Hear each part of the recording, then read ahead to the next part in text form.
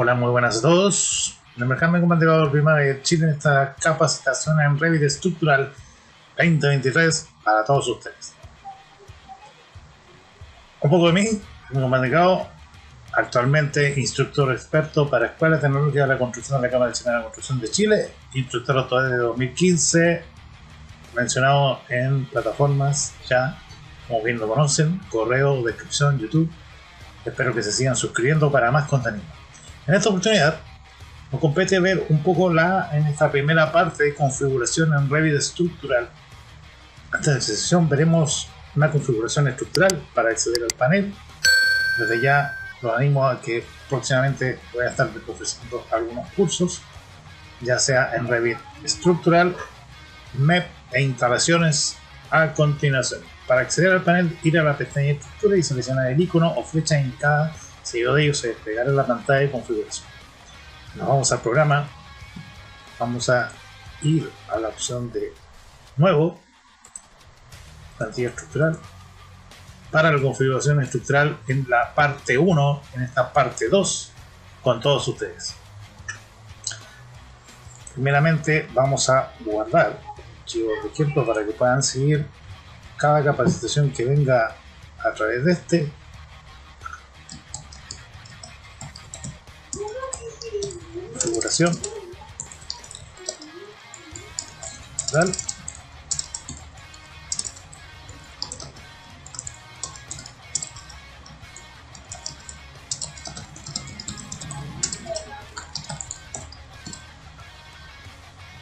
y de acuerdo a eso vamos a seguir los siguientes pasos a través de próximos vídeos. En esta parte 2 que nos compete en la parte de estructura en donde podemos ir a las opciones de configuración estructural y nos vamos a saltar y ir al PowerPoint que teníamos anteriormente.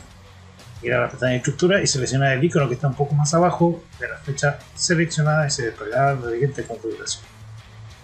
En esta sección veremos configuración estructural para acceder al panel, ir a la pestaña de estructura, que ya lo hemos hecho, y los elementos de armazón estructural deben estar unidos a otros para que se pueda apreciar el cambio la distancia o reducción.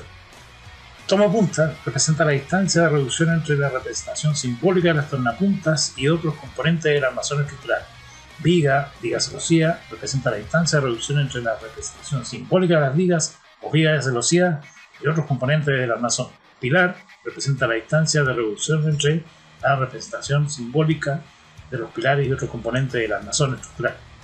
Este parámetro afecta al espacio entre las representaciones simbólicas de pilares unidos en una pista de alzado, el espacio solo se puede ver sin la propiedad del vector símbolo de conexión superior del pilar se establece con un valor. Yéndonos al programa, podemos ver que tenemos una, una primera pestaña, la configuración de representación simbólica, con una tornapunta a cierta distancia y las vigas celosivas. También tenemos los símbolos que puede ser línea paralela y línea con ángulo. Y también podemos darle un desfase de líneas paralelas. puntas dependiendo de la conexión que nosotros vayamos colocando. Mostrar una punta debajo y conexiones en paralelo, etc. Y mostrar ya sea base de pilar o parte superior de pilar o vigas y tornapuntas. En este caso nos da el momento de estructura, momento en voladizo y con la conexión que nosotros podríamos incluir o traer para acá para configurarlo. En las opciones de casos de carga, vamos a ir un poco más a la siguiente. En las opciones de caso de carga podemos definir en específico un determinado parámetro para un determinado punto dentro de la estructura que podemos añadir tantos como sean necesarios. En este caso, los casos de carga, tenemos los más para todos los ingenieros calculistas, peso propio, sobrecarga de uso, carga de viento, en esta versión 2023 de Revit, carga de nieve y sacar cálculos apropiadamente mucho más fácil, sobrecarga de uso, entre ellos, entre cubierta, accidental, carga de accidente, carga de temperatura y carga sísmica tipo de carga, encontramos muerta, viva, viento, nieve, viva de cubierta, accidental, temperatura y sísmica. Podemos añadir cargas en específico definido por su naturaleza que podrán añadirse a una carga especial. Todo ello pueden irse eh, haciendo combinaciones de acuerdo a, la, lo que ya expliqué anteriormente y ahí añadir. También tenemos, podemos editar fórmulas a través de este. También. En la pestaña de combinaciones de carga podemos añadir las cargas creadas y crear combinaciones seguidas de un determinado tipo en específico de carga. Llámese el paso 1 que podemos añadir tantas veces nosotros deseemos añadir, añadir tantas veces o combinaciones que nosotros necesitemos para un cálculo ya que Revit no es un, eh, por sí solo, genera un análisis estructural, pero muy, muy básico, muy básico, no estar en principio como el TAPS o Robo Estructural o SAP 2000. Luego de añadir cargas y crear una fórmula, bastará con solo seleccionar su tipo, combinación tendrá resultados, reacción y fuerza de elementos para una sola combinación de cargas. Si selecciona envolvente, obtendrá los resultados máximo y mínimo de un grupo de combinaciones de cargas. Al, establecer fórmulas, nos queda derivar su estado, ya sea de servicio o último límite de servicio, reflejará el funcionamiento de una estructura, flexión, vibración, etc., con una carga nominal o dentro de lo previsto. Límite último se basa en la capacidad total de una estructura para resistir sin riesgo cargas extremas o ponderadas, sin combinarse o fracturarse. Por último, hay que establecer el uso de carga, podemos hacer uso como ser uno combinado o para arrastramiento o una carga. Las combinaciones de carga no portante incluyen las cargas verticales tanto permanentes como el peso propio, peso propio de la estructura, es decir, que son solo vigas, pilares, etc. Y sobrecargas de uso basada en la ocupación de personas en una planta de oficina, caja en un almacén, ni en una cubierta.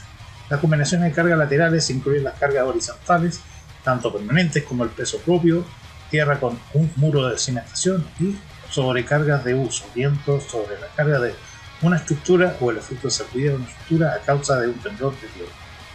Las combinaciones de cargas combinadas incluyen grados diversos de cargas, tanto carga como de arrechamiento para responder a situaciones en que haya estructuras ocupadas que a la vez experimentan carga de viento o de un temblor de tierra comprobación automáticas. La comprobación de modelos analíticos emite una advertencia si sospecha alguna incorrección en el modelo analítico del proyecto, la cual debemos utilizar esta configuración cuando se haya modelado casi toda la estructura y tenga que averiguar si hay cambios aplicados al modelo, que averiguar si hay cambios aplicados al modelo que pueden dejar elementos sin soporte o crear incoherencias en modelos analíticos. No se recomienda activar esta configuración en las fases iniciales de un proyecto el número de elementos sin soporte durante la creación del modelo es importante. Soporte de elementos. Emite una advertencia cuando se detecta un miembro sin soporte durante la creación o la modificación de un modelo. Las referencias circulares se especifican en la sección Comprobación de soportes, elementos en este cuadro de diálogo.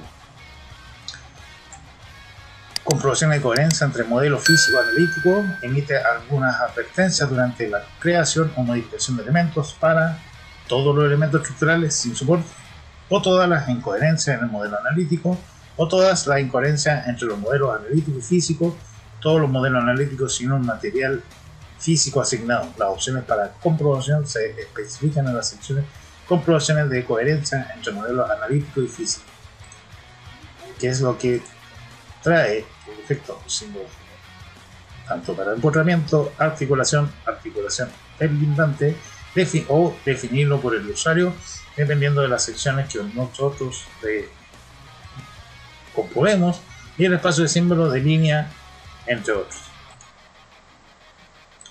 Comprobación de soportes. La opción comprobación de soporte de elementos se utiliza durante las comprobaciones de soporte de elementos automáticas o iniciadas por el usuario.